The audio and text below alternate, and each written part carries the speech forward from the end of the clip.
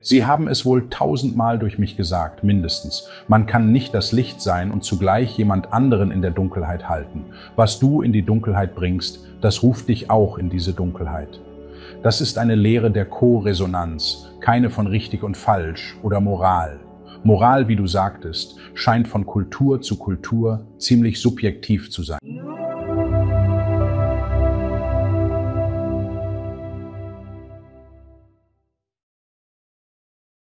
Möchte Paul Salig wieder in der Sendung begrüßen. Wie geht es dir, Paul? Mir geht es gut, danke. Vielen Dank, dass du in der Sendung bist. Wir werden über dein neues Buch Resurrection und die Manifestationstrilogie sprechen.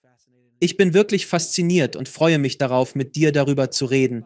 Aber erzähl mir von dem Konzept, dein wahres Ich wieder zu erwecken. Meinst du, dass es genau darum in deinem Buch geht? Ja, die Führer sprechen von einem Aspekt in uns, den sie das göttliche Selbst, das wahre Selbst oder das Göttliche nennen. Andere Namen sind auch gebräuchlich, wie Monat. Sie sagen, dieser Aspekt strebt danach, sich zu manifestieren und neu zu formulieren, durch uns und als wir selbst. Es ist der Teil, der immer existierte, dass Gott in uns, das sich in seiner Ganzheit ausdrücken will. Das ist die Auferstehung, von der Sie sprechen. Also, alle Lehren, denke ich, zielten seit Anbeginn darauf ab, sich in einer Weise zu entwickeln, über die die Führer nun sehr, sehr konkret werden, wie dies geschieht, wie das göttliche Selbst oder jener Teil von uns, der in seinem Wissen verankert ist und sich nicht in der Angst verliert, verwirklicht wird und welche Auswirkungen dies auf den Einzelnen und auch auf das Kollektiv hat nutzen Sie oder die Führer das Konzept der Auferstehung als eine Art Heimkehr zu unserem wahren Selbst, im Gegensatz zu was viele von uns zu sein glauben, nämlich dieser Körper, diese Welt, dieses Ding. Es ist so etwas wie aus diesem herauszutreten in unsere wahre Göttlichkeit. Ja, unsere Rückbesinnung darauf, wer wir waren, was wir vergessen, ignoriert oder verleugnet haben. Die Führer, mit denen ich arbeite, betonen, dass wir in einem kollektiven Feld agieren, das im Glauben an Trennung verwurzelt ist, welcher viele Beweise gesammelt hat. Und dass dies nie die Wahrheit war, sondern eine Schöpfung, in der wir Unterstützung finden. Es betrifft unser Bewusstsein über unsere Identität. Wenn ich überlege, wer Paul ist, könnte ich sagen, ich bin in einem männlichen Körper, in einem bestimmten Alter, lebe an einem Ort und verrichte bestimmte Arbeit. Und sie sagen, das sind Wege, das selbst zu erkennen, aber nicht, wer du wirklich bist. Denn all diese Dinge sind vergänglich. Die Wahrheit, wer wir sind, nennen sie. Das innewohnende Göttliche, der Christus oder die Monade. Jedes System hat wohl einen eigenen Namen dafür, ist, wer wir immer waren. Das strebt danach, von uns zurückgewonnen zu werden. Ein Teil davon geschieht auf Kosten unserer Vorstellungen, die in Trennung verankert waren, oder im Glauben, dass es nicht möglich ist. Also wollte ich fragen, wie die Welt in den letzten 3000 Jahren funktioniert hat. Sie war sehr stammesbezogen, basierend auf Moral. Wir gründen auf einem Konzept von, in diesem Stamm essen wir dieses Tier. In einem anderen Stamm könnte dieses Tier heilig sein und genau da fangen dann die Kriege an. Aber das war bis zu einem gewissen Punkt von Vorteil, als wir noch in Stämmen lebten. Doch jetzt sind wir global und werden immer globaler. Also, wir müssen beginnen, uns von dieser Vorstellung zu lösen, dass nur mein Weg der richtige ist. Ich würde gerne deine Gedanken dazu hören. Ich denke, du liegst richtig. Weisheitslehren besagen, Selbstgerechtigkeit entspringt dem kleinen Selbst. Wenn du Recht behalten musst, während andere Unrecht haben, ist das noch immer die Persönlichkeit. Es ist das Selbst, das seine egoistische Struktur stärken will. Grenzen sind von uns erschaffen, menschengemachte Konstrukte. Wir verleihen ihnen Bedeutung, errichten Mauern und glauben, wir müssten getrennt von anderen bleiben. Wir haben vergessen, wer sie wirklich sind. Unsere Führer sagten, wir haben das Göttliche in unseren Mitmenschen so lange verleugnet, dass wir auch das Göttliche in uns und in der Quelle aller Dinge verneinten. Sie haben es durch mich tausendmal gesagt, du kannst nicht im Licht sein und einen anderen in Dunkelheit halten. Wen du in Dunkelheit hältst, zieht dich in diese Dunkelheit. Das ist eine Lehre der Resonanz. Es geht nicht um eine Lehre von richtig und falsch oder Moral. Moral ist, wie du sagtest, von Kultur zu Kultur subjektiv. Und ich denke, wenn Führer über solche Dinge sprechen, reden sie von Wahrheit und sagen, was wahr ist, bleibt wahr.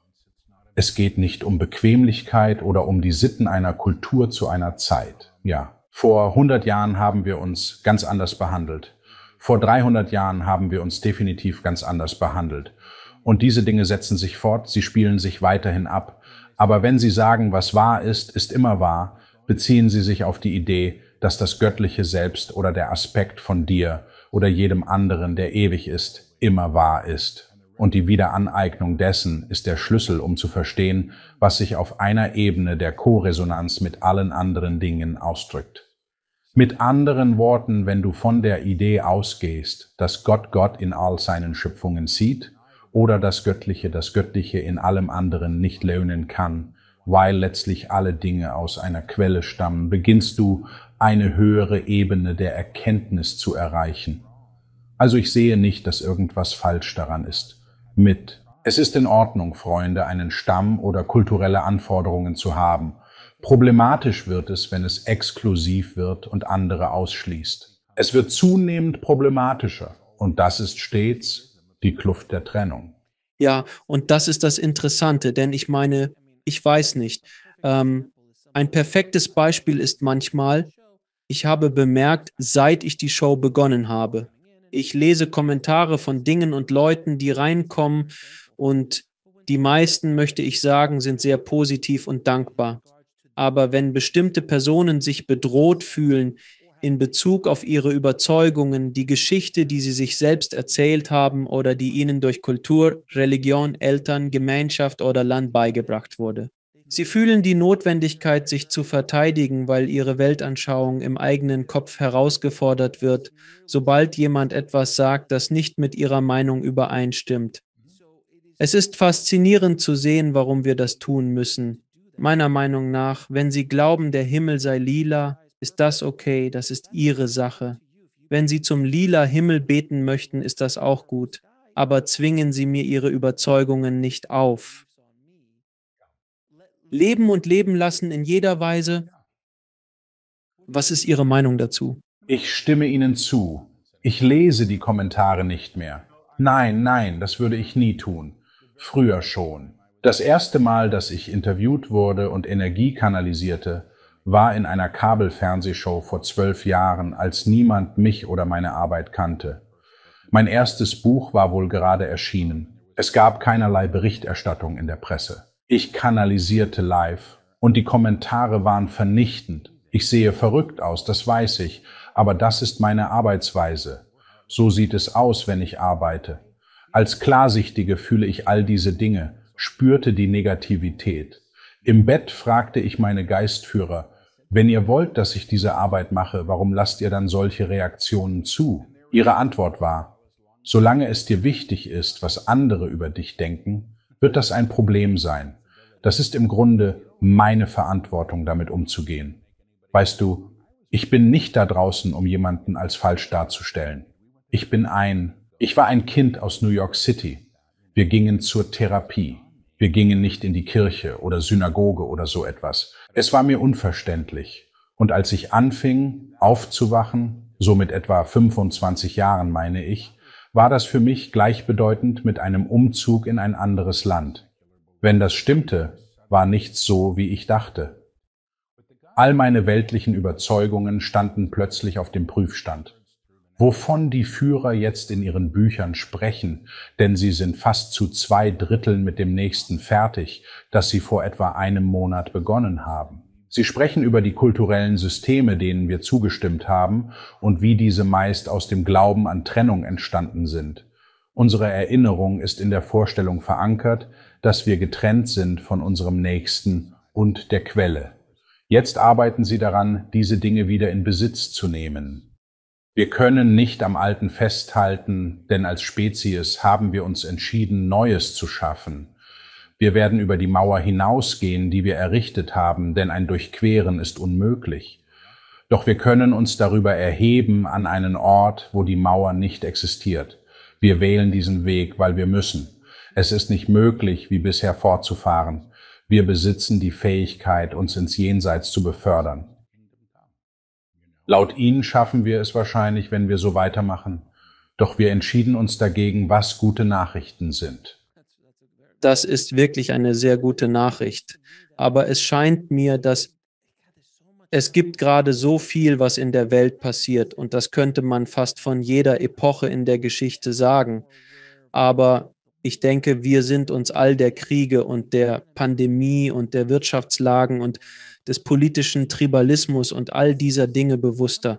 Es läuft auf einen Höhepunkt zu. Mir ist auch aufgefallen, dass die spirituellen Boten da draußen wie Sie selbst und eine Sendung wie meine, sie tauchen immer häufiger auf, um diese Art von Licht zu verbreiten, um diese Art von Informationen in die Welt zu tragen. Es findet eine Art von Gegengewichtsbildung statt. Sehen Sie das auch so?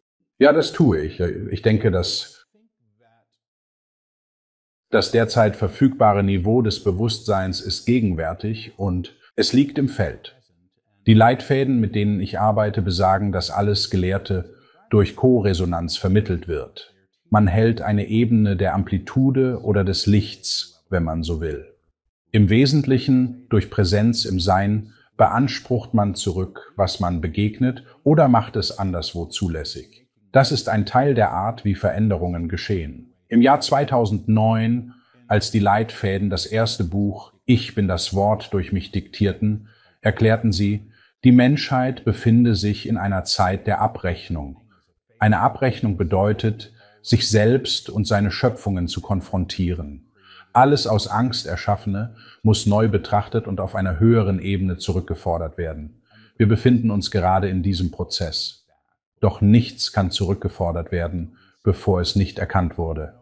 Also, ich denke, vor rund fünf, vielleicht auch sechs Jahren diktierten sie ein Buch mit dem Titel Das Buch der Wahrheit. Sie prophezeiten, dass alles Verborgene ans Licht gebracht werden würde. Welches Jahr war das eigentlich? Das Jahr davor. Zwei Präsidentschaftswahlen zurück. Kurz davor. Das ist bereits eine Weile her, denn genau das ist geschehen. All dieser Rassismus und Hass und Tribalismus begannen aufzukommen. Ja, das haben sie gesagt. Und sie meinten, es müsse ans Licht kommen, damit es aufgearbeitet werden kann. Es ist wirklich so einfach. Jetzt wollen wir bei allem mit dem Finger zeigen und bestrafen und all das, was sie sagen, verschlimmert nur alles. Das ans Licht kommt, kommt ans Licht, weil es muss, auf eine höhere Weise bekannt oder gesehen werden. Und das ist die Gelegenheit, die wir jetzt haben, wenn wir sie ergreifen. Aber ich sehe es irgendwie. Und Sie haben das immer wieder gesagt, was geht vor sich? Und Sie lagen in den letzten zehn Jahren ziemlich richtig damit, wie wir funktionieren und waren irgendwie weitsichtig. Ich denke, all dies könnte potenziell gut sein. Es geht nicht darum, ständig auf den Mist zu fokussieren, aber wir dürfen ihn nicht leugnen. Das ist kein spirituelles Ausweichen. Man kann nicht einfach Parfüm auf Probleme sprühen und sagen, sie riechen gut, wenn es nicht so ist. Nun, das ist etwas, worüber wir vorhin schon sprachen, über die Geschichten, die wir uns selbst erzählen, mit denen wir aufgewachsen sind. Wir kommen nicht mit Hass in unseren Herzen oder Liebe in unser... Wir sind ständig von Konditionierungen umgeben, die auf uns einwirken. Was empfehlen Sie, um uns von diesen Prägungen zu befreien, wie Sie es bei Ihrem Erwachen taten? Sie erlebten ein extremes Beispiel mit Führern und Channeling. Wie können auch wir beginnen, uns von solchen Geschichten zu lösen, unsere innere Verfassung neu zu bewerten und zu einem höheren Bewusstsein zu erwachen? Ich bin noch nicht fertig. Kein spiritueller Lehrer, kein Guru, nicht erleuchtet. Ich bin der Typ mit einer seltsamen Fähigkeit. Doch habe ich mich entwickelt als Ergebnis davon. Gewachsen ist vielleicht falsch. Ich habe mich eher weiterentwickelt weiterentwickelt. Das beschreibt es treffender. Die Führer arbeiten mit Einstimmungen, energetischen Einstimmungen. Sie sagen, wir sind alle Radios und wir senden ständig und unsere Sendung ist unser Bewusstsein und unser Bewusstsein ist es, was unsere Realität beansprucht, individuell und kollektiv. Die Einstimmungen sind einfach und erfolgen auf der Ebene des göttlichen Selbst oder der Monade. Es gilt, dass Wahrheit immer beständig ist Auf dieser Ebene sind Wahrheiten konstant. Ein grundlegender Anspruch, mit dem gearbeitet wird, lautet, ich kenne meine wahre Identität, meine wahre Natur und wie ich in Wahrheit diene. Ich bin frei. Ich bin frei. Ich bin frei. Nun, diese Anrufung geschieht nicht auf der Ebene der Persönlichkeit. Es sagt nicht, hallo, ich bin Paul und ich weiß, wer ich bin und ich weiß, wo ich wohne. Es ist nicht all das Zeug. Es ist das ewige Selbst, das dies beansprucht. Die Führer behaupten, dieser Aspekt des Selbst sei unschuldig, frei von Angst und Sündenbewusstsein, wenn man so will. Er kennt seine wahre Identität trotz aller Widersprüche. Indem du die Einstimmungen annimmst, justierst du die Frequenz deines Feldes, um es auf eine höhere Ebene auszurichten, die immer präsent, aber verlügnet wurde. Stell dir eine Radiostation vor, die schon immer sendete, ohne dass du wusstest, wie du sie empfangen kannst. Genau dabei helfen sie uns. Diese Erfahrung ist oft sehr greifbar. Ich leite Workshops, sowohl online als auch persönlich und vieles mehr. Wenn die Führer mit den Einstimmungen durchkommen und die Menschen sie anrufen, spürt man die Veränderung im Körper und im Feld. Und die Erfahrung von Dingen beginnt sich zu wandeln. Es ist kein Simsalabim, kein Zauberstab. Aber es bewirkt meiner Meinung nach eine Bewusstseinsveränderung, auf die du dich ausrichten kannst. Die Bücher, die sie durch mich übermitteln, handeln davon. Es sind keine Selbsthilfebücher, sondern Wegweiser zur Bewusstseinsentwicklung. Es geht nicht ums Herbeizaubern einer besseren Wohnung. Es ist nicht dieses Zeug. Andere können das machen. Sie lehren nicht das. Sie vermitteln eher eine Art Mystik. Aber ich denke, es ist auf eine anwendbare Weise, dass damit etwas einhergeht. Keine Theorie, sondern Praxis. Es ist erfahrungsbasiert und das schätze ich an der Arbeit. Als ich anfing zu channeln oder zu hören, denn es dauerte Jahre, bevor sie durch mich zu lehren begannen, hörte ich Informationen, aber die Informationen interessierten mich nicht. Mich interessierte die Energie, die mit den Informationen einherging, weil man sie nicht vortäuschen konnte. Also saß ich 18 Jahre lang in meinem Wohnzimmer in New York City zu der Zeit mit Leuten zusammen und wir saßen in der Energie und befolgten die Anweisungen, die kamen. Und sie waren greifbar und physisch echt und irgendwie lebensverändernd. Und daran hielt ich fest. Und deshalb tue ich es noch. Man muss dieser Erfahrung einfach vertrauen, dass sie übermittelt wird, denn sie ist greifbar. Es sind nicht nur hübsche Worte. Man kann sie herbeirufen, man kann sie fühlen, man kann sie im eigenen Leben in Aktion sehen. Jetzt zurück zu den Geschichten, die wir uns erzählen. Wir sind das einzige Tier auf dem Planeten, das bestraft sich selbst tausendmal wegen eines einzigen Fehlers und es ist grausam. Wir sind unser schärfster Kritiker und unser schlimmster Troll in jedem Bereich unseres Lebens, ob wir nicht spirituell genug sind, zu dick, zu dünn, nicht die richtige Hautfarbe haben, einfach in keiner Weise richtig sind. Denn das sind die Botschaften, die auf uns einprasseln. Und welchen Rat können Sie geben, um uns selbst für diese Fehler, in Anführungszeichen Fehler, die wir gemacht haben, zu vergeben und uns einfach grundsätzlich für so vieles zu vergeben, mit dem wir uns täglich quälen? Es ist eine große Frage mit verschiedenen Herangehensweisen. Das Buch, das jetzt ausgeliefert wird, spricht spezifisch darüber. Es behandelt die Folgen von Entscheidungen, die aus Angst getroffen und oft bestrafend sind. Wir werden durch unsere Entscheidungen und Gedanken über uns und unsere Handlungen bestraft. Das Buch sagt, man kann das Wirken des Göttlichen auf diese Dinge beanspruchen und durch die gesamte Laufbahn der Entscheidung hindurch das Göttliche nicht begrenzen. Eine einfache, aber tiefgreifende Lehre ist, was du verdammt. Verfluchst du, trifft dich auch ein Fluch und Segen kehrt zu dir zurück. Das betrifft mich selbst, meine Taten und Gedanken. Wer oder was du verdunkelst, zieht auch dich in die Dunkelheit, einschließlich deines Selbst. Die Vorstellung vom Segnen, oft kulturell missverstanden, bedeutet laut Geistführern, mit denen ich arbeite, das Göttliche in etwas zu erkennen und seine Präsenz darauf zu beanspruchen. Zu segnen ist mehr als ein Ritual.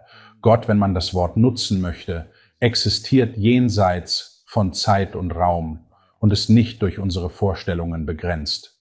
Die Handlung des Göttlichen auf Selbstanklage oder Selbsthass zu beanspruchen, ist ein befreiender Akt. All diese Dinge, die uns eigentlich zurück in Angst und Trennung verankern, können passieren. Und ich weiß, dass das stimmt, denn ich habe früher sehr gelitten. Und ich sage nicht, dass alles weg ist, aber ich weiß. Mhm. Wenn ich daran denke, wie ich früher funktioniert habe, war es brutal. Also ich weiß, dass jemand zu mir sagen musste, als ich so 28, 29 Jahre alt war, weil ich ein lautes, selbstverurteilendes Komitee im Kopf hatte und jemand sagte, weißt du, Paul, so dunkel du auch gewesen, so viel Licht kannst du tragen. Das machte damals einen riesigen Unterschied für mich. Es hat sich als sehr wahr erwiesen. Was ich gelernt habe, ist vor allem Mitgefühl auf eine Art, die ich sonst nie erfahren hätte. Ich kenne das Leiden. Ich versuche mich so gut es geht davon fernzuhalten und glaube, dass alles Erlebte zu unserem Wachstum beitragen kann. Aber ja, ich werde mich jetzt, wie du anfangs gefragt hast, an die Geistführer wenden. Du fragtest, ob ich channeln werde. Ich werde sehen, ob die Geistführer etwas Einfaches über den Umgang mit Selbstbestrafung sagen wollen. Ich werde dabei nur flüstern und wiederholen, was verrückt wirken mag. Aber was soll's? Sie sagen die Vorstellung von dir selbst. Als jemand, der Strafe verdient, muss man loslassen. Oder zurückgewonnen. Auf eine höhere, erhabenere Art zurückgewonnen. Die Wahl, sich selbst aufzugeben. Ich bin es nicht wert. Ich bin es nicht wert. Ich bin nicht liebenswert. Ich bin ein schlechter Mensch. Ich bin wirklich ein schlechter Mensch. Darauf werden wir anstoßen. Du wirst die Verantwortung für die Beweise dieser Behauptungen tragen müssen, verantwortlich sein für das, was du tust.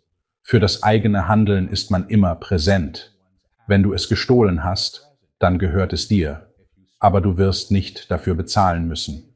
Du wirst nicht dafür bezahlen. Allerdings ist die Entscheidung, das eigene Selbst zu erkennen, die Entscheidung, das Selbst über die bereits vollbrachten Taten hinaus zu verstehen, als wer und was du im tiefsten Inneren wirklich bist, tatsächlich eine, die die Beweise des Vergangenen verändern wird.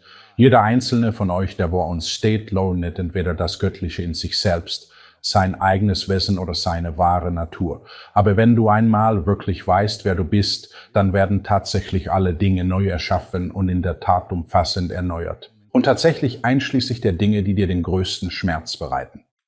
Wenn das Sinn ergibt, dann ergibt es vollkommen Sinn, dieses andere Konzept der Hölle, das schon lange diskutiert wird, glaubst du, dass wir in dem sind, was wir als Hölle betrachten? Denn das ist quasi die Definition von Selbstfolter, sich selbst zu geißeln. Äh, diese Art von Missbrauch, das ist alles, es ist fast ewig, bis du dich entscheidest, dich davon zu befreien. Es scheint, als wären wir alle in unseren eigenen persönlichen Höllen und wir müssen, wie du sagst, daraus auferstehen. Ich weiß es nicht.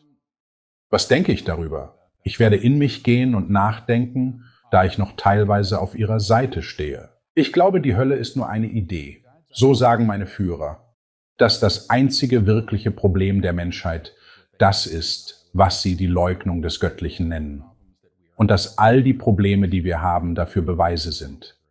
Sei es Krieg, sei es Hungersnot, sei es, wie wir uns selbst oder andere behandeln. Menschen meinen, wir sollten jemanden beschuldigen, kämpfen und Rache üben.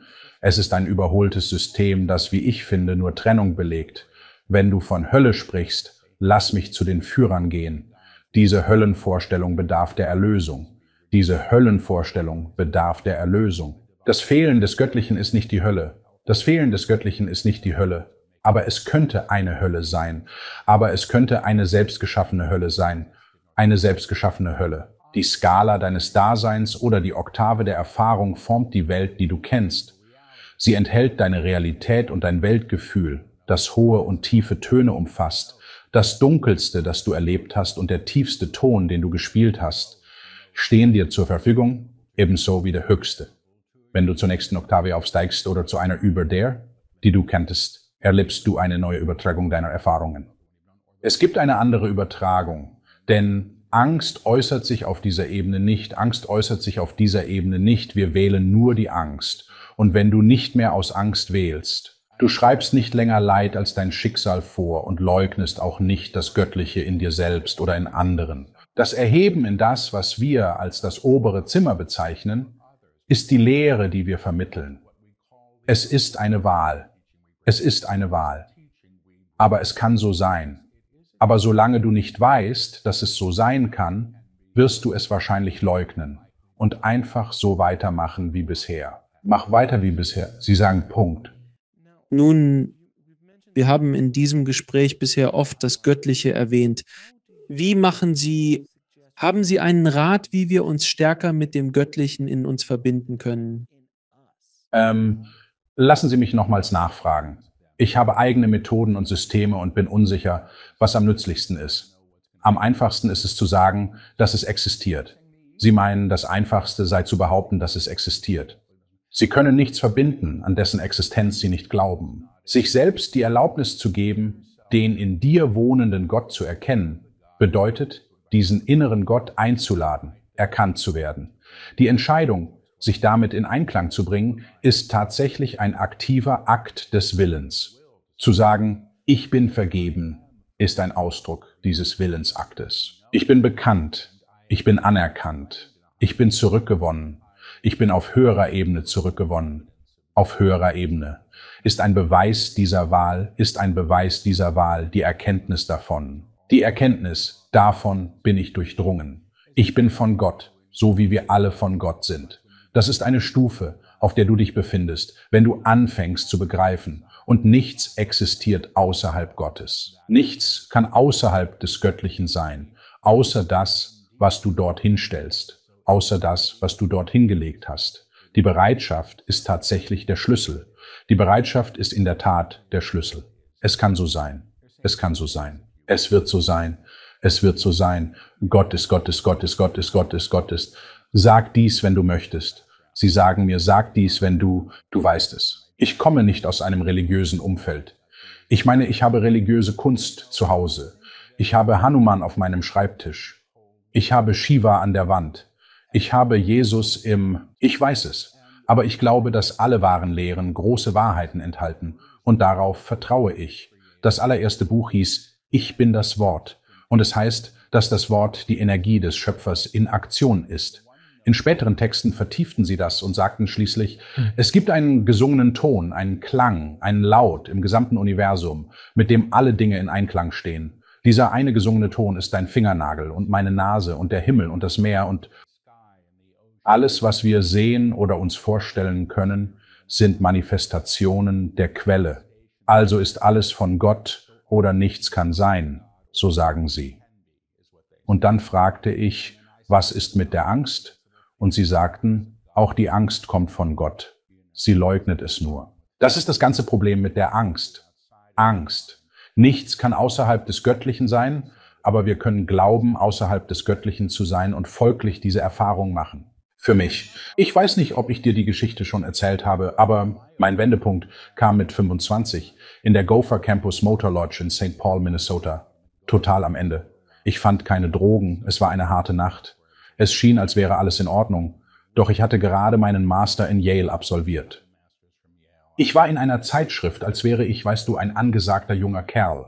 In diesem Moment war ich echt am, du weißt, Gideons legen kleine Bibeln in Schubladen. Ich dachte, oh verdammt, zog eine heraus und sah Gebet für Menschen in der Krise. Ich dachte, okay, ich stecke in einer Krise. Konnte sie vielleicht nicht genau benennen, aber mir war klar, irgendwas war definitiv falsch war schon lange im Argen und wurde nicht besser. Und ich sprach das Gebet und meinte es ernst, und dann vergaß ich es. Und drei Tage später war ich zurück in New York. Und eines Morgens wachte ich auf und fragte mich, was ich an diesem Tag Positives tun könnte. Und ich hörte eine Stimme. Es war die erste Stimme, die ich hörte. Und ich hörte zu und ich, ich hörte an jenem Tag auf zu trinken, zu feiern und all das. Es war ein bedeutender, aber schockierender Moment für mich. Wenn ich sage, ich hörte eine Stimme, meine ich keine echte Stimme im Raum. Es war mehr ein Gedanke, der alle anderen überlagerte. Unbestreitbar. Denn wenn du je etwas wirklich wusstest, so wie ich bin verliebt oder ich habe den Job, dann verstehst du, was ich meine. Ich weiß es einfach. Wenn man weiß, gibt es keine Fragen, keine Verwirrung. Meine Führer sagen, das göttliche Selbst ist der wissende Teil, das wahre Selbst, das nie Angst hat. Denn kehrt man zum Moment des Wissens zurück, war keine Angst da. Angst und Wissen können nicht zusammen existieren. Angst entsteht nur vor dem Unbekannten, was als nächstes kommt. Du erhältst eine vorläufige Diagnose, aber das wirklich Beängstigende kommt danach. Wie wird es sich anfühlen? Werde ich es durchstehen, all diese Dinge? Also für mich. Dieses erste Wissen kam mit einer Resonanz, der ich gelernt habe zu vertrauen.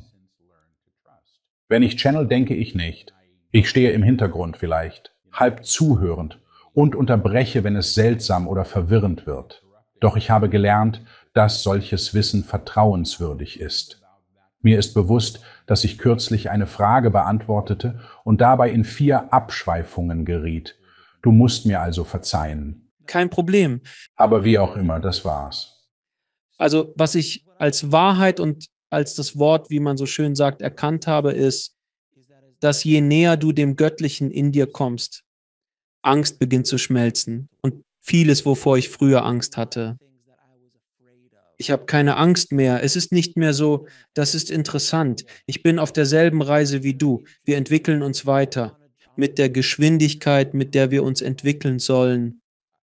Doch habe ich erkannt, dass Ängste und Sorgen von früher wie finanzielle Unsicherheiten oder ungewisse Zukunftsfragen mich heute weniger erschüttern. Mein Glaube, dass sich Dinge fügen werden, ist tiefer verwurzelt. Wenn du beginnst, dich mit deinem inneren Glauben, deinem göttlichen Selbst zu binden, wirst du dies auch spüren. Du hast dann weniger Angst, oder? Hast du das gemerkt? Genau. Natürlich kann ich immer noch aus der Fassung gebracht werden, und dann muss ich natürlich die Gelegenheit nutzen, denn die Führer sagen ja, alles ist eine Gelegenheit. Indem ich die Dinge so umdeute, handle ich nicht länger aus dem alten Opferbewusstsein heraus, welches in meinem Leben zuvor ziemlich stark ausgeprägt war. Die Führer haben oft gesagt, Handeln aus Angst zieht mehr Angst nach sich. Jede Entscheidung, die aus Angst getroffen wird, bringt uns mehr davon. Rückblickend auf Entscheidungen, die aus Angst entstanden, wirst du sehen, dass sie mehr Angst verursacht haben. Sie häufen sich an. Beweise über Angst sind kurios, sagen die Führer, denn sie belegen, dass Angst unklug ist. Angst führt nicht zu Weisheit. Man sagt, es sei schlau, nicht weise, weshalb es ein gewisses Niveau nicht überschreitet. Seine Aufgabe ist Selbstreplikation, ähnlich Krebs, auf der niedrigen Erschaffungsebene.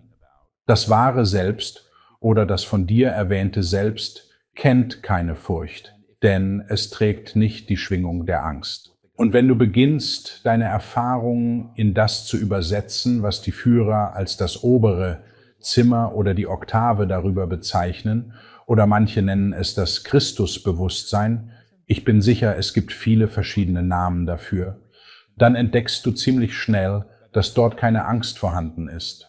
Und wenn ich in meine alte Reaktion zurückfallen möchte, kann ich das aber dann gehe ich wieder nach unten, wo das existiert. Stell dir vor, man gibt dir ein neues Apartment im 20. Stock und du hast im Keller gewohnt und dann gehst du hoch in den 20. Stock und sagst, oh mein Gott, das ist wunderschön. Jetzt ist die Aussicht völlig anders.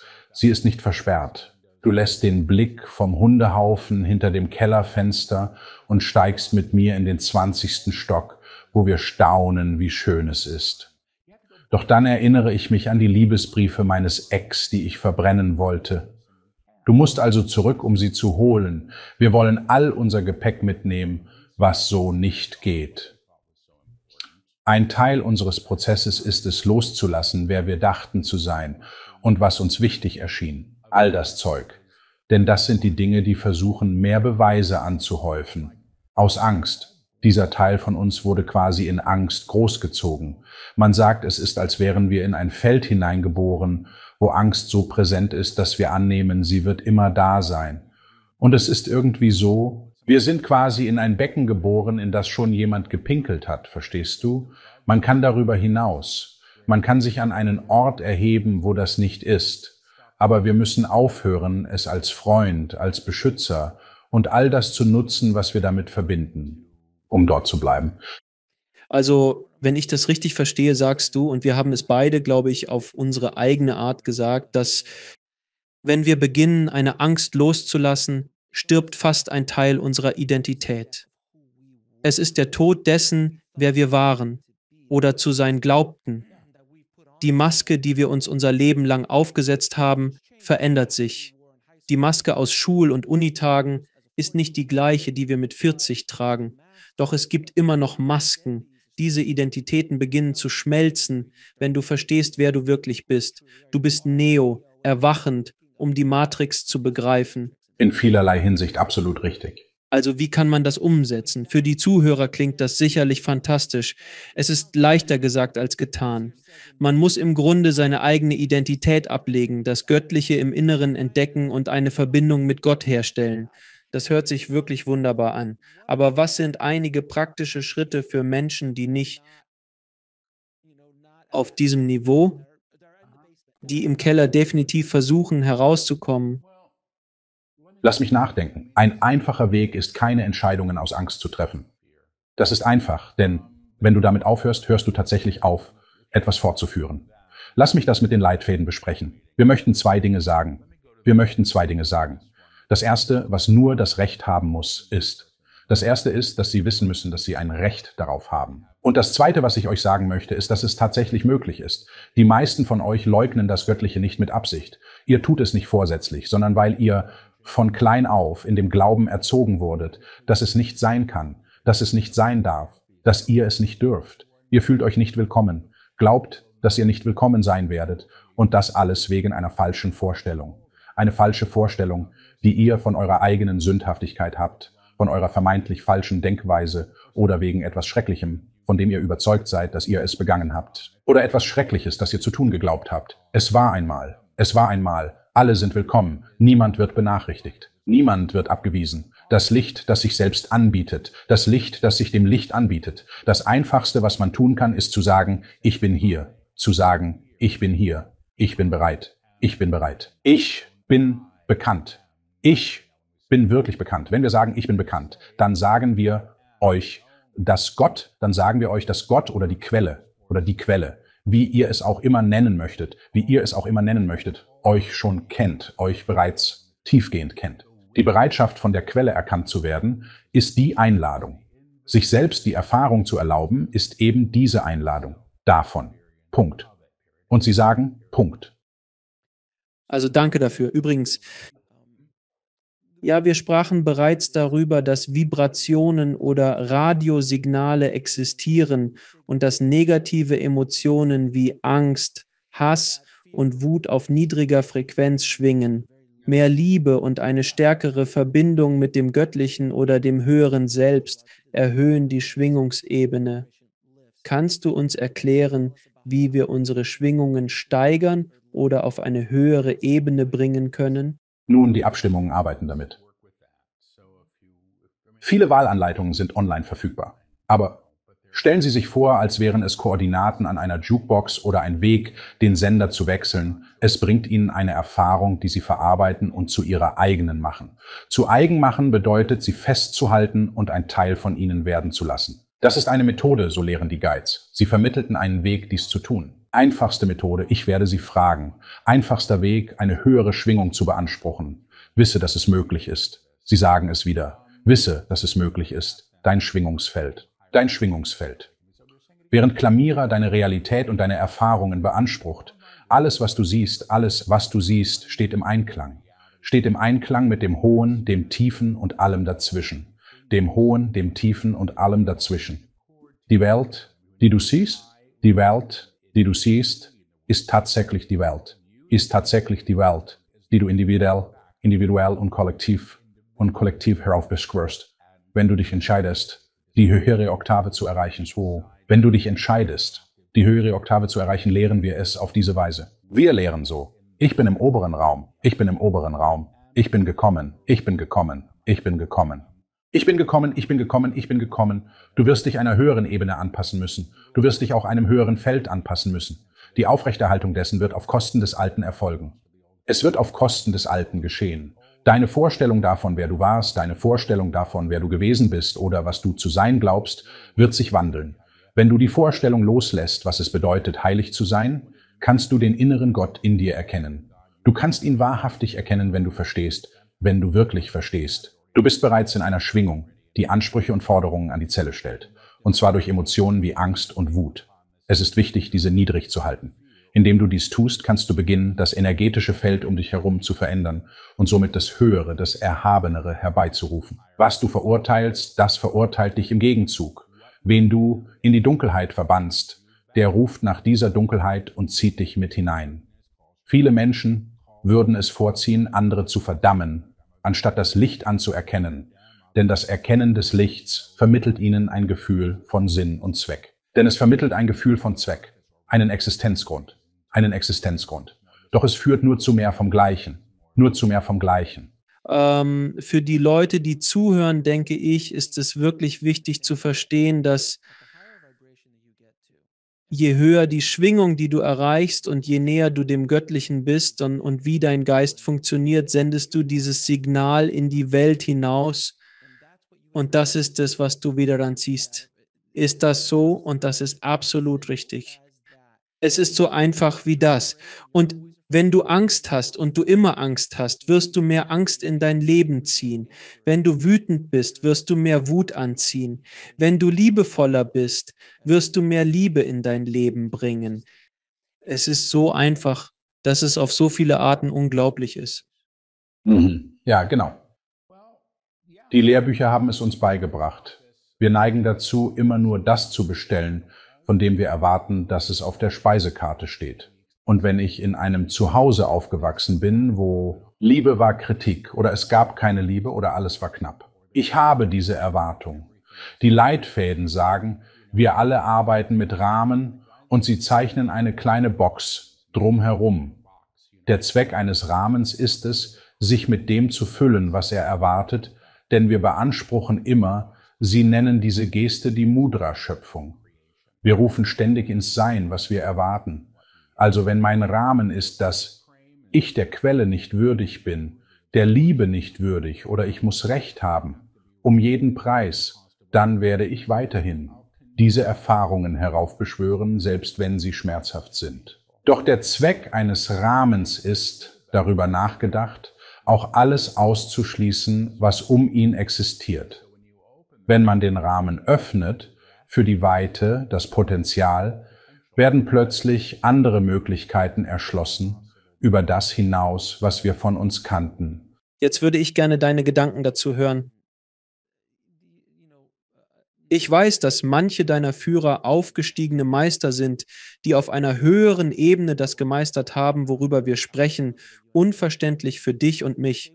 Aber waren die meisten deiner Führer waren sie jemals inkarniert oder weißt du es nicht? Ich weiß es nicht. Sie waren etwas ausweichend und das könnte an meiner Zurückhaltung liegen, bestimmte Informationen zu empfangen. Sie sagten's. Wir sind Lehrer und Wegweiser. Im ersten Buch nannten sie uns aufgestiegene Meister, was mir unbehaglich war. Deshalb verwenden sie diesen Ausdruck seltener. Wenn nach einem Namen gefragt wird, nennen sie sich Melchisedek, ein uraltes Priesteramt. Melchisedek-Gestalt oder das Priesteramt. Es wurde berichtet, dass einige von uns informiert worden seien, während andere im Unklaren blieben. Man sagte, einige hätten sich in ihrer Gestalt erkannt, andere jedoch nicht. Ich akzeptiere das. Es gibt jemanden, den ich sehe, hauptsächlich in Meditation oder Hypnose, und nur dort habe ich ihn gesehen. Das überraschte mich. Würde ich täglich meditieren, sähe ich ihn wohl immer, aber ich bin zu faul. Er war bemerkenswert, wirklich. Seine Augen waren das intensivste Blau, das ich je gesehen habe. Langer, weißer Bart und großer Hut mit Pfannkuchenartigem Oben, wie man sich vorstellt. Er wirkte etwas, nein, eher griechisch-orthodox, wegen des Hutes mit dem Ding obendrauf. Er hielt einen vergoldeten, verzierten Zepter in der Hand und zeigte ihn mir, während er sagte, dass wir damit Menschen harmonisieren. Zu der Zeit leitete ich Workshops und stand aus unbekannten Gründen mit einem unidentifizierbaren Gegenstand vor den Leuten. Als er mir die Bedeutung des Zepters erklärte, begannen die Teilnehmer meiner Workshops zu sehen, wie meine Augen sich in ein strahlendes, blassblaues Licht verwandelten. Ich habe haselnussbraune Augen. Und es wurde zu einem häufigen Phänomen, als seine Energie sich sozusagen vermischte, während er arbeitete. Ich glaube, er ist Teil eines Kollektivs, denn manchmal zeigt sich ein leicht abweichender Wortschatz in den Büchern. Ich erkenne oft den Unterschied, aber alles wirkt demselben Geist zugehörig. Da alle Bücher unredigierte Transkriptionen der Channelings sind, kann ich nicht zurückgehen und sie korrigieren. Drei Wörter, vielleicht in einem Buch, würden korrigiert, wenn ich sie falsch ausgesprochen oder leicht verändert hätte. Meine liebste Definition der Führer ist, wenn sie sagten, wir sind, wer ihr werdet, wenn ihr wisst, wer ihr seid. Und das ist alles. Und genau das meinen viele der großen spirituellen Meister, die gelebt haben, von Jesus bis Yogananda, bis Babaji, bis hin zu so vielen verschiedenen Meistern. Und diese Vorstellung, besonders die westliche Vorstellung, dass spirituelle Meister in dieser Form vollständig erleuchtet erscheinen, es ist so, es ergibt keinen Sinn. Es hält nicht stand, denn jeder musste Prüfungen und Schwierigkeiten durchstehen, um aus Erfahrung lehren zu können, sonst ergäbe es keinen Sinn, warum sie erscheinen. Es gibt eine 30-jährige Lücke zwischen Jesu Erscheinen und dem Beginn seiner Lehren. Er hat in dieser Zeit sicherlich Bedutsames vollbracht. Ja, ich stimme zu. Ich stimme vollkommen zu. Sie sagen ja, das, was Sie vermitteln, ich und die Bücher, die Sie schreiben, es ist eine initiatrische Lehre. Die Menschen werden an ihr wahres Wesen erinnert. Ich glaube nicht, dass an diesen Lehren irgendetwas bequem ist. Und mit bequem meine ich, oh toll, ich lese das. Und dann finde ich einen besseren Freund oder eine bessere Freundin oder all diese Dinge. Ich meine, vielleicht sind das die Ergebnisse, aber das ist nicht der Zweck. Der Zweck ist, schließlich denke ich, wieder vereinen mit unserem wahren Wesen, das über unser geglaubtes Selbst hinaus existiert. Und ich denke, das ist alter Kram. Ich glaube nicht daran. Das ist nicht mal besonders modern, wenn man behauptet, es sei uralt. Sie sagen, die Lehre, die sie verbreiten, existiert seit Ewigkeiten. Sie zeigt sich in verschiedenen Formen, über Generationen hinweg, durch diverse Lehrer. Ich bin nicht der Lehrer. Ich bin das Radio. Und das ist okay für mich. Wie gesagt, so sehe ich es.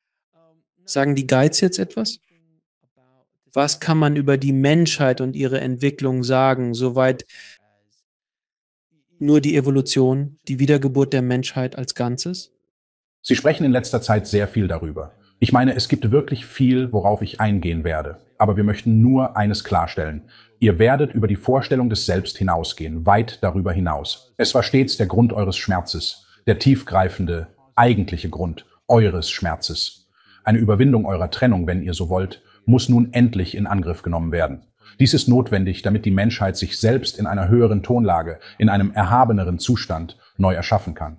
Dieser Prozess der Erneuerung beginnt jetzt zu geschehen. Dieser Prozess hat nun seinen Anfang genommen und es wird viele Generationen in Anspruch nehmen, bis sich die Manifestation vollends erhebt und verwirklicht.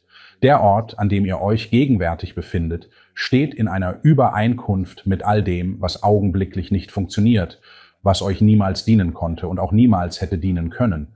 Ein neues Bewusstsein wird geboren, ein Bewusstsein, das euch offenbart, wer und was ihr in eurer wahren Essenz seid. Diejenigen, die mit diesem neuen Bewusstsein inkarnieren, beginnen nun, dessen Potenzial zu aktivieren und zum Ausdruck zu bringen. Beginnen Sie mit der Aktivierung. Sie werden die manifeste Ebene, in der Sie gegenwärtig leben, zurückerobern. Sie werden diese Ebene zurückerobern. Und Sie sagen, Punkt. Also, und ich, ich neige dazu, Ihnen zuzustimmen, denn ich habe selbst Kinder und ich sehe, wie sie das Leben so anders betrachten. Welches einfach von Natur aus so ist, durch die Eltern, die sie haben, nämlich meiner Frau und mir, mit einem anderen Bewusstsein, anders als unsere Eltern und sicher unsere Großeltern. Die waren auf einer viel niedrigeren Schwingungsebene, eher nach dem Motto, ich muss überleben. Ja, wo wir sind, also zumindest in meinem Fall in meinem Museum. Ich sehe den Unterschied nicht nur bei meinen Kindern, sondern auch bei deren Freunden und so weiter. Sie betrachten das Leben einfach anders. Sie sind offener für Ideen, stärker vernetzt. Und dann die Generation, ein paar Generationen vor mir, man sieht einfach, wie die sich verhalten. Ich möchte keine neun bis fünf Arbeit machen, die ich hasse. Ich werde etwas anderes machen. Ich werde die Welt verändern. Ich werde etwas tun. Solche Gedanken waren früher einfach undenkbar. Können Sie sich das vorstellen? Überhaupt nicht. Es gibt mir Hoffnung. Wirklich. Als die Leiter das erste Mal etwas sagten, ich glaube, es war in einem Livestream-Seminar, und sie meinten, es wird dauern, vier Generationen oder so ähnlich. Und die Leute waren so verärgert, weil wir alles sofort haben wollen. Warum mache ich all diese Arbeit? Ich will es jetzt. Wann kommt diese große Erwachung? Ich denke, sie ist individuell und ich denke, das Kollektiv profitiert dann durch das Individuum. Wie du sagtest, wie du irgendetwas siehst und ganz ehrlich, alles entsteht in dem Bewusstsein, das du hast. Was du segnest, segnet dich im Gegenzug. Und die Führer sagen im Grunde, wenn du auf einer bestimmten Schwingungsebene agierst, verändert deine bloße Anwesenheit das Feld. Also, ich habe neulich jemandem erzählt, dass ich vor ein paar Monaten in einem Auto war, mit einigen Leuten, die ungefähr wussten, was ich beruflich mache, aber nicht im Detail. Und sie fragten so, oh, was wird mit der Welt passieren? Beide wirkten ziemlich niedergeschlagen. Genau. Und ich. Und sie sagten, na, was sagen deine Führer dazu, Paul? Und sie meinten, es wird vier Generationen dauern. Aber wir machen es, es ist hoffnungsvoll, bla bla. Jemand erwähnte, was ich nicht wusste, Nein, das ist interessant. Mose führte die Juden aus Israel heraus und es dauerte 40 Jahre, weil er sagte, es waren 40 Jahre oder vier Generationen. Damit die Menschen vergessen, dass sie Sklaven waren, dass sie versklavt wurden. Es war eine andere Bewusstseinsebene. Ich weiß nicht, ob das wahr ist. Jemand hat mir das erzählt. Aber ich dachte, das ist wirklich interessant, dass es Zeit braucht, um zu vergessen was uns beigebracht wurde oder was wir für richtig halten. Vieles, was Lehrer heute lehren, ist, dass wir zurückfordern müssen. Kollektives Gedächtnis. Auf höherer Ebene werden wir weiterhin verstärken. Angst und Trennung prägen unser Gedächtnis stark. Eine seltsame Lehre, die ich nicht ganz verstehe. Es wird das nächste Buch sein, das erscheint, sobald es fertig ist. Doch verstanden habe ich es, als sie es erklärten, denn der Anspruch, mit dem die Führer arbeiten, ist der Anspruch, siehe, ich mache alles neu. Und das umfasst alles, wer wir zu sein glauben und wer wir waren, samt der Strukturen, durch die wir uns kannten. Ich denke, das heißt, wir erkennen die Dinge auf höherem Niveau. Wir verstärken nicht mehr. Trennung auf die Weise, wie wir es gelernt haben. Viele alte Verhaltensmuster, mit denen wir aufgewachsen sind, geraten in Vergessenheit oder entwickeln sich weiter. Früher ging es oft um spritfressende Autos, die es zwar immer noch gibt, aber es findet ein Umdenken statt. Es gibt eine massive Verlagerung hin zu dem Gedanken, dass wir so nicht weitermachen können. Dies könnte daran liegen, dass wir energieunabhängig sein wollen, was auch in Ordnung ist. Wir kaufen kein Öl mehr von Leuten, die uns umbringen wollen oder dass wir uns in anderen Bereichen verändern. Auch bei Ernährung, auch bei Gesundheit. Stell dir vor, ich erinnere mich an die frühen 80er, als meine Mutter ins Fitnessstudio ging. Und das war damals wie total verrückt. Yoga zu praktizieren war sehr ungewöhnlich. Heute ist es normal. Unsere Generationen, also meine Kinder kennen äh, Meditation, weil Papa meditiert. Das ist ein gewaltiger Wandel gegenüber meiner und deiner Generation. Mhm. In meiner Generation haben Männer nicht einmal Haarspülung benutzt. Ich erinnere mich, dass in der Schule ein Junge sagte, er verwende Haarspülung und alle haben gelacht, weil das einfach unüblich war. Männer haben so etwas nicht gemacht. Verstehst du, was ich meine? Ganz genau, genau. Lass uns gar nicht erst anfangen, was Männer früher getan haben und was sie heute tun. Kannst du dir vorstellen, die, die sich so herausputzen und komplett zurechtmachen? Ich meine, das ist etwas, da würde mein Großvater nur staunen und sich fragen, was? Ich bin jetzt 60 Jahre alt und ich bin dankbar, so lange gelebt und erlebt zu haben, wie ich es tat. Und ich bin außerordentlich glücklich, wenn sich Dinge ändern, denn ich denke, wir haben so viele Entscheidungen getroffen, die uns selbst und anderen schaden. Und ich denke, wenn das Bewusstsein, das jetzt entsteht, das unterstützt, kann das nur gut sein. Ganz ohne Zweifel. Nun erzähle mir etwas über das neue Buch Auferstehung. Was ist dessen Ziel? Meine ich mit Auferstehung? Genau das. Auferstehung handelt davon. Es ist das erste Buch der sogenannten Manifestationstrilogie und es geht um die göttliche Offenbarung in der Manifestation in uns selbst und in allem, was wir sehen und erleben. Sie diskutieren, wie Manifestation nicht bedeutet, zu erlangen, was wir zu benötigen glauben, sondern eine Übereinstimmung zu erreichen. Es geht darum, in schwingungsmäßiger Harmonie zu sein, um Empfänger des bereits existierenden Guten zu werden. Wir fragen also nicht mehr, wie wir es bekommen, sondern werden empfänglich. Diese Empfänglichkeit beinhaltet das angeborene Wissen um unser wahres Selbst. Denn wer seine Identität kennt, versteht seine Bedürfnisse und vertraut darauf, dass sie erfüllt werden. Ich muss sagen, das Buch ist wirklich abgefahren. Es ist erstaunlich leicht zu lesen. Ich lese die Bücher nicht, bevor ich die Hörbücher aufnehmen muss, weil ich sie einfach nicht lesen kann. Ich lese Korrektur, soweit es nötig ist. Aber sie lehren über die Auferstehung selbst. Das göttliche Auferstanden in und durch uns alle und dann in und durch alles. Es ist, es ist, es ist ziemlich kraftvoll. Ich meine, soweit ich verstehe, ist es so, als würdest du versuchen, auf ein Filmset zu gehen und die Schauspieler aufzuwecken, um ihnen zu sagen, dass sie Schauspieler sind und nicht wirklich die Charaktere, die sie spielen aber sie sind so in ihre Darstellung und in das wunderschöne Set vertieft und die Lichter und alles, was so großartig aussieht. Aber du kannst nicht mit voller Kraft vorgehen, denn dann werden sie sehr wütend. So nach dem Motto, wovon redest du? Ich bin Hannibal Lecter. Wovon redest du? Im Gegensatz dazu. Also musst du es langsam äh, einarbeiten. Nein, du bist ein Schauspieler, der in Pasadena lebt. Komm bitte mit mir. Und dein wahres Ich, das bist du. Ist das eine passende Analogie? Passende Analogie. Was kommt als nächstes? Was steht bevor? Im nächsten Buch dieser Trilogie. Sie haben zwei Drittel geschafft. Ich versuche immer noch zu verstehen, worüber Sie sprechen. Aber es geht um die Wiedererlangung der Erinnerung. Es geht um die Wiederaneignung der Geschichte und aller aus Angst getroffenen Entscheidungen durch die Zeiten. Denn, so sagen sie, diese Dinge können in höherer Energie oder Oktave wiedererkannt und zurückgewonnen werden.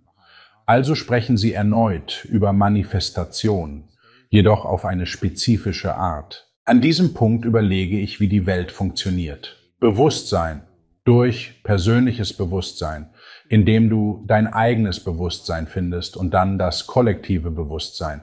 Denn letztendlich Beide existieren nebeneinander. Man kann nicht das eine ohne das andere haben. Es geht um deine Präsenz. Informiert. Alles, was du wahrnimmst, wird tatsächlich auf eine höhere Ebene der Tonlage oder Schwingung übertragen. Jetzt werde ich dir ein paar Fragen stellen. Das frage ich alle meine Gäste, Paul. Was ist deine Lebensmission? Ich weiß es nicht. Ich glaube, ich habe keine. Ich meine, ich erscheine dafür. Ich möchte es wirklich. Ich möchte es genießen. Was mir noch bleibt. Und ich muss sagen, es war lange Zeit nicht einfach. Und die Vorstellung, dass Frieden gegenwärtig und verfügbar ist, es bleibt eine große Freude für mich, mein Zweck und Mission, die Arbeit zu verrichten, für die ich kam und in jeder Form, die sie annimmt, einzustehen. Das ist alles. Was ist die Definition guten Lebens? Ich würde sagen, ein Leben voller Entscheidungsfreiheit. Ohne großes Bedauern. Aber ich bin mir nicht sicher, denn ich glaube, wir lernen genauso viel aus unseren Fehlern wie aus allem anderen. Und am Ende denken wir, wow, ich durfte diese harte Lektion lernen. Und war das nicht interessant? Also ich weiß nicht. Eine Definition eines guten Lebens. Ich glaube, es geht darum, andere echt zu lieben. Und was ist der eigentliche Sinn des Lebens? Ich denke, es geht darum, Gott zu erkennen letztlich oder wie man ihn nennt, zu wissen, dass er nicht getrennt ist. Genau. Haben die Geistführer zum Schluss noch abschließende Worte für uns? Ich werde fragen. Sie fragen, warum der junge Mann hier ist. Wir werden direkt mit ihm sprechen. Er ist hier, um den Weg zu weisen, denn er ist bereit, gesehen zu werden. Er ist bereit, gesehen zu werden. Und weil du bereit bist, gesehen zu werden, bist du auch bereit, das Licht zu strahlen bereit, das Licht zu strahlen für diejenigen, die hinter dir gehen. Pauls Auftrag unterscheidet sich von den üblichen. Er ist hier mit dem Ziel, sich selbst zu erkennen, sich als ein Wesen zu verstehen, das von seiner Ursprungsquelle stammt. Dies war sein erstes Anliegen, seine initiale Bitte, und sie wird in der Tat respektiert und geehrt, zum Wohle aller Zuhörer. Wir sollten klar sagen, erkenne, wer du wirklich bist, erkenne, was du wirklich bist, erkenne, wie du wirklich dienst, und sei dir dessen bewusst. Und sei dir bewusst, dass das Göttliche dir nicht verwehrt bleibt, wenn du Ja sagst, wenn du zum Göttlichen Ja sagst. Das ist bereits beschlossen. So steht es fest. Punkt. Und sie sagen Punkt. Paul, es ist stets ein Vergnügen, mit dir zu sprechen, mein Freund. Du bist immer willkommen. Bei deinem Tempo mit den Büchern sehen wir uns wohl nächste Woche. Alles klar, danke. Ich bin dankbar. Es ist stets ein gutes Gespräch. Alex, herzlichen Dank. Danke fürs Zuschauen. Klicken Sie unten auf ein Video, um fortzufahren und vergessen Sie nicht zu abonnieren.